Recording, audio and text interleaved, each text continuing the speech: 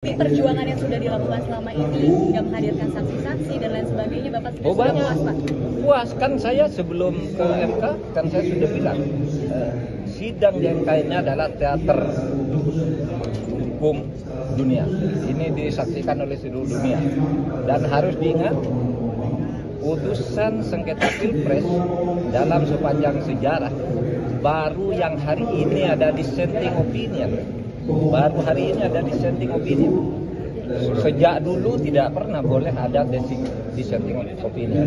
Karena biasanya hakim itu berembuk. Karena ini menyangkut jabatan orang kita harus sama dirembuk sampai sama nah ini mungkin tidak bisa disamakan sehingga ada dissenting ini pertama dalam sejarah perjalanan pertama Mahkamah Konstitusi? Nah, terserah kamu. Iya terserah kamu aja. terserah. Saya hanya mengatakan itu catatan sejarah. Itu yang kami menerima demi keadaban hukum. Ya, karena keadaban hukum itu ketika membuat hukum harus benar, ketika menegakkan hukum harus benar, ketika menerima putusan juga harus sportif.